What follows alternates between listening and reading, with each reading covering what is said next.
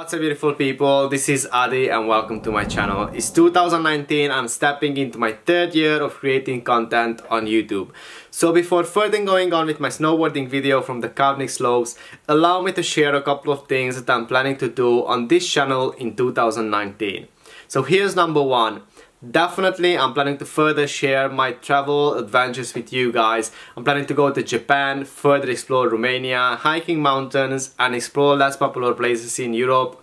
But I want to bring more value to this channel by sharing tips and tricks, do's and don'ts about different kind of travel destinations in order to help you to have a more pleasant experience, save some time and money on your next travel destination.